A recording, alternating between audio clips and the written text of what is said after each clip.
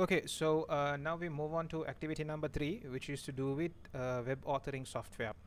So uh, on the question paper over here, it says you may use any appropriate software for this activity. Uh, so I will be using Adobe Dreamweaver CS6 uh, to complete this activity. So it says over here Duncan's Villa Hotel Group has a website that includes information about the hotels. The home page of the website is index.html. Okay, so the address of home page is index.html. So I think this is important information. Let's highlight it. Okay, we need to keep this in mind. Frederick wants to add web pages about a tourist attraction near each hotel.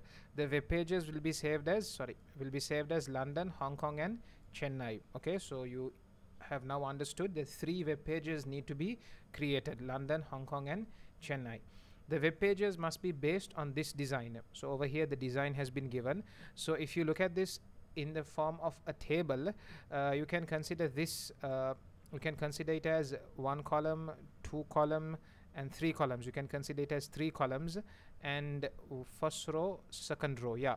So three columns and two rows should be enough to get this layout. Okay and then on the right hand side it has also been mentioned that the background color should be pale yellow and the text color should remain dark blue so let's highlight that as well okay then it says use the logo you created in task AG1 information about a tourist attraction near each hotel is stored in tourist. So you need to have this file tourist. Uh, yes I do have this file with me. And uh, when I open it up yes I can see this is the subheading for Chennai. This is the text. Subheading for Hong Kong text. Subheading for London and the text. Okay so you too should be having this file and you will be taking the uh, content from that file okay? It says over here create web pages using the layout shown in the design. Create a web page for the London hotel. Save the web page as London okay? So I'm going to be using Dreamweaver CS6 over here. Let me open it up.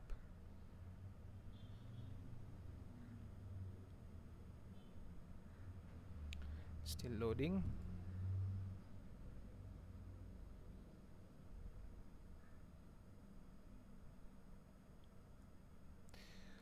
okay so I have Dreamweaver opened up and I'm gonna go for a blank HTML document. And okay so the first thing that I am going to going to do is to get the layout sorted. I'm gonna get this layout first and thereafter I'll be putting the content into it. So I told you it's one column two columns three columns and two rows. So how do we do that? We come to insert and we come to table okay? And over here we say we want two rows and three columns I'm going to keep my table width at 100% so 100% means it will fit the screen of any device whether you're looking at it from a desktop PC from a tablet from a smartphone it doesn't matter.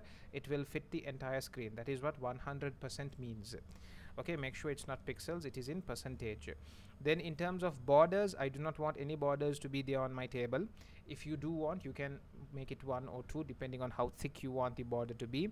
I'm going to keep borders at zero and then I'm going to click on OK and now my table has been created.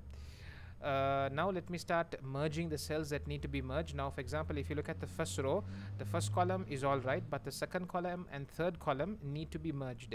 So let me select the second column and third column. So with a mouse I selected both those columns and now I'm going to right click table and I'm going to go with merge cells. Keep in mind you have the shortcut key which is control alt M okay uh, when you go on to the second row you can see the first column and second column of the second row have been merged. So let me do that as well. S first column second column I selected with the mouse right click uh, table merge cells okay? Now since I have done the merging now I think it's time for me to start entering the data. So let's start with logo. So they told me to use the logo I created in task AG1 so the logo we used in task AG1 was DHG logo. I hope you do remember. So what I'm going to do is I'm going to control C and come over here control V. So what happened? Control V. So before I paste it, the computer is giving me a reminder or rather Dreamweaver is giving me a reminder to first save my document so that an address for this image can be created. I'm just going to say OK and thereafter it's asking me do you want to put alternate text in case the image doesn't load? You can display some text. So I'll just say DHG logo and say okay. So obviously you can see the logo is way too big. So from the corners while holding onto the shift key why am I holding onto the shift key? So that the image will become proportionally small. Okay when I resize it it will proportionally yeah. Okay now it will proportionally change its size okay? So I was holding onto the shift key while resizing it. Then over here now I can make this obviously very much more smaller. There you go. And over here the company name needs to appear. So we do know that the company name is Duncan's Villa Hotel Group. So control C. And let's come over here control V. This is the main heading of your web page so it has to be heading number one. So let's right click paragraph format and go for heading number one. The next thing is you need to have the page title image and text content of the page. And as you can see over here it's all uh, center aligned okay?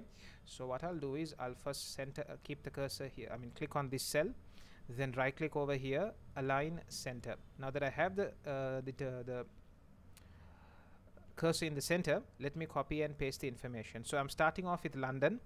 So um, page title image and then the text content isn't it? So let me copy this entire thing. Control C control V. Okay so this is a subheading. Let me make this heading number 2 this is a sub subheading. Let me take it one bit down and make it heading number 3 let's select this and make it heading number 3 and then in between the two the image needs to appear. So go into your folder go into your images folder and let's locate London. London is over here. So control C to copy and come over here control V. Once again you are being reminded to save your file. You can click on OK. Alternate text. I'll simply say uh, Big Ben. Okay because this picture is representing Big Ben. So in case the image does not load this text will be displayed. So I say OK and the image has been uh, pasted then in this final cell you can see it says link to the home page and three tourist attraction pages. And also you can see that it is center aligned. So what I'll do over here is right click align center. Now that I have my uh, cursor blinking in the center I'm going to type home. Then we have London. Then we have uh, Hong Kong. And finally we have Chennai okay? So the home page and the three other tourist attraction sites obviously this is way too big. Let's keep the cursor over here and make it smaller. Okay that's much better. Uh, then the question goes on to say links. Okay it says links to the home page. So you got to create those links so what I'm going to do over here is I do I do hope you remember at the beginning of this question they told us the home page of the website is index.html so when the user clicks on home he should be directed to index.html so what I'm going to do is I'm going to select this text and then right at the bottom if you can follow my cursor we have something called link over here. So I can type over here index.html and press enter. So now the word home has been linked to index.html I'm also going to create the links for the other pages as well even though these web pages have not been created yet. Now for example London I have not yet saved it. Hong Kong I have not yet even created it. Chennai I have not yet created it. But before creating it before or before saving London I am going to create the hyperlink. So once I save the file automatically the file will get connected to its respective hyperlink. Let me show you. So what I'm going to do is I'm going to select London and then in the hyperlink area you can see there is a folder button right? So I'm gonna uh, tell the computer when I click on London go to a specific location and look for the file London okay? So I'm going to click on this and I'm going to tell my computer sorry go into the 2015 folder and somewhere over here there will be a file called london.html okay? So now just to remind you again I have not yet saved london.html but before saving it I'm creating the hyperlink. So when I do actually save this London file it will automatically get connected with this hyperlink okay? I hope you're able to follow. So I have told my computer when the user clicks on London go into the 2015 folder and look for a file called london.html okay? And thereafter I'm going to click on OK. Again it's reminding me save your file first say okay so I'm going to do the same thing for Hong Kong as well okay? I'm going to click over here. I'm going to tell my computer go to the 2015 folder and look for Hong space kong.html so you need to keep in mind when you're saving your hong kong web page you need to save it in the exact name hong space kong okay? You may not need to put dot html because dreamweaver will put it for you on its own okay? So i can say okay again reminding me to save. The same thing for chennai as well. Right click oh, let's just uh, select it from over here and say 2015 folder. Go to chennai.html and say okay. Okay. So the hyperlinks have now been created. There is yet one more thing that needs to be done which is this area where the background color and the text color needs to be changed. So to do that what you can do is you can see at the bottom we have something called page properties. Or what you can do is you can come to modify and you have page properties shortcut key is control J okay? So once you come to page properties you will have properties that control the entire web page. Okay? So what I need right now is the text color needs to be dark blue and uh, text color needs to be dark blue and the background needs to be pale yellow. So something like this. Okay? So once you have done that you can go ahead and click on apply and say okay so now whatever needs to be done for the London web page you have done. So you can go ahead and save this as London. So let's go ahead and click on save and make sure you go into your 2015 folder and save this as London. Okay so why I do not put .html because my computer is already doing that for me. I don't need to manually type .html and I click on save. Now the first web page has been created. The London web page has been created. Now thereafter you need to create a web page for you need to create a web page for Hong Kong and then you need to create a web page for Chennai. Now something to understand over here is for Hong Kong also we are going to use the same layout the same hyperlinks. The only thing that is going to change is this area you get it? For the Hong Kong web page the layout is going to be same the logo is going to be same the heading is going to be the same the hyperlinks are going to be the same. The only thing that changes is this area is going to change. So instead of creating your Hong Kong page from scratch what you can simply do is make a copy of this web page. So what you can do is you can come to file save as which is basically you're creating a copy of it and save this copy as Hong Kong. Okay? You can save this copy as Hong Kong. Okay so now if you if you just look at the top where my cursor is you have a London web page and you now have a Hong Kong web page. So now what you do is you change the wording. Let's delete all this. Delete and let's change the wording to Hong Kong. Okay so control C control V. Okay this is my subheading.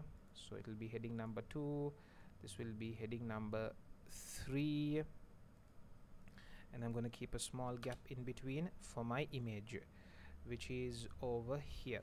Control C control V alternate text. I'm just going to simply say or we can say Victoria.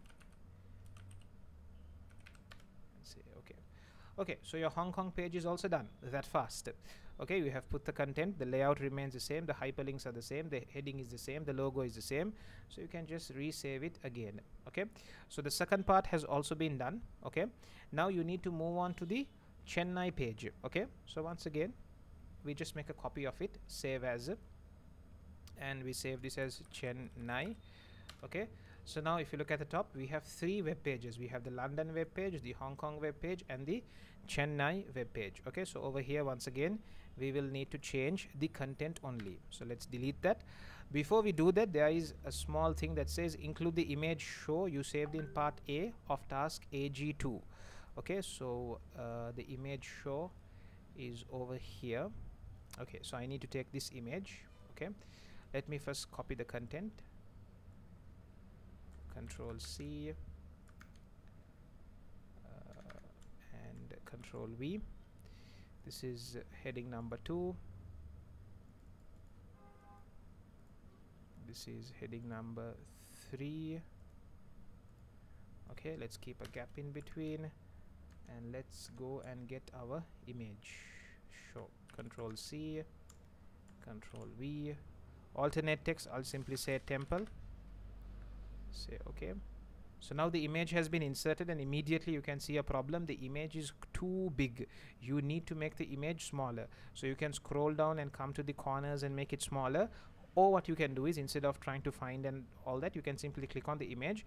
And at the bottom you have been given the width and height okay? So you can see this padlock symbol. It shows that it is it is locked which means whatever value you change it will proportionally change. If you change the width the height will accordingly change. Okay? That's a good thing. If you do not want it to proportionally change you can just click on this and unlock the padlock. I want it to proportionally change so I'm going to keep the padlock locked and I'm just going to make this I'm going to just make it 267 enter. So automatically this becomes 300 and uh, let's just double click on the border so that the image auto fits okay let's double click on this border. Image is too small. Let's make it around uh, 900 maybe. Or 900 is also too big. Let's make it 500 okay let's double click. Okay that looks much better okay so now you have done your Chennai web page as well okay? That the heading is there the image is there the text is there the hyperlinks are there okay? So then it says save your web page as Chennai let's just resave it we have already saved it under Chennai. Then the question paper goes on to say make sure that your web pages are fit for purpose okay? So just have a quick look at it. What you can do is you can come to your uh, folder you can do a refresh and then just open let's start with London. Just open up your web page. Uh, let me show you how it looks okay? So this is how your web page looks looks fine it's readable the colors are correct the image is big enough. Let's check is the uh, is the uh, home page working? Yes it's going to index.html so that's quite fine. Then let's go to Hong Kong. Hong Kong is working. From Hong Kong let's go to Chennai. Chennai is also working okay? So so far it seems to be all right. Okay? So this do not get the I mean do not worry when this comes up. It will come up because there is no such thing as index.html okay? Our past paper just said to put that address and we have done exactly that. Okay. Uh, moving on to back to the question paper. It says open a new document using word processing software. Enter task wa1 your name candidate number center number in the footer of the document and save the document as task wa1 okay so let's do that uh, let's come to our folder. Right click new word document task wa1 let's open it up.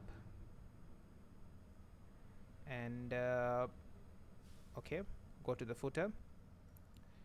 And let's put task wa1 your name your candidate number and your center number. Okay that's also done. Then the question paper goes on to say uh, for each of the three web pages, display the web page on the screen. Make sure all content is visible. Take a screenshot of the web page. Paste a screenshot into task WA1. So let me do that. So let me come to my website. I'm going to take a screenshot starting with London. Print screen. And uh, I'm going to come here. Control V. And then I'm going to go on to the Hong Kong web page. Print screen and uh, come over here and paste it. Okay so I hope hope all of you all do know about the print screen button okay? Uh, near the function key you will find a button called PRTSCR that's your print screen button. It will take a screenshot of your screen and another one here print screen. And uh, I'm gonna come over here and paste it okay now say for example if you are unable to get all the information on one page if you're unable to get all the information into one screenshot what you can do is you can try zooming out. Don't zoom out too much okay? Zo try to you know zoom out so that everything will be visible. Just control minus and try to you know get everything in one screenshot okay? Control plus minus is the shortcut key for zooming out okay so once you are done with that uh, make sure that all of the content of each web page is clearly visible.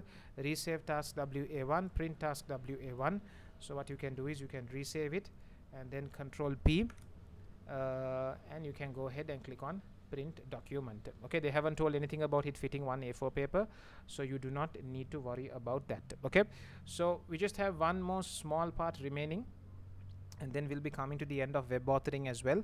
Okay so in the next video we'll continue the second part of web authoring